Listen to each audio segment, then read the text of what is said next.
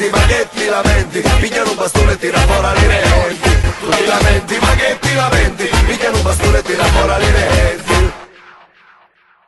Il passatempo di paese stava nel farsi riempire i bicchieri di granita. Passava la lapa, era attrezzata con le vasche, tutte specchiate, coi coperchi a forma di cupola,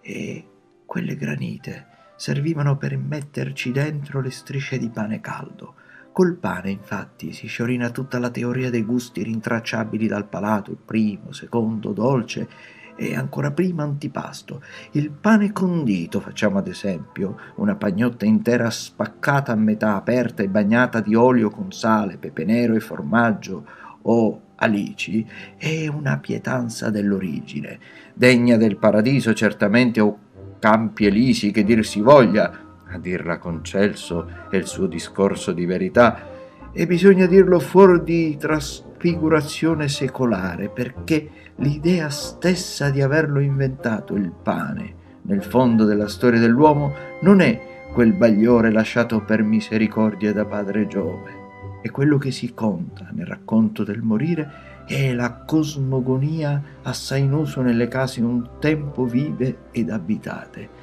Impastare il pane è la replica di una tempesta cosmica, si smuove l'acqua, il fuoco e il vento, simbolo di intimità è il pane, è una prossimità col divino e tutti i significati sono in lui, fallico e vaginale quando si apre. E poi la tannura, la tanor che forgia la brace è quanto di più chiaro tra le metafore, perché Atanor è alchemia. E se c'è alimento universale e pagano, quello è il pane, così come il sole invitto è un lesto sorriso di Giove.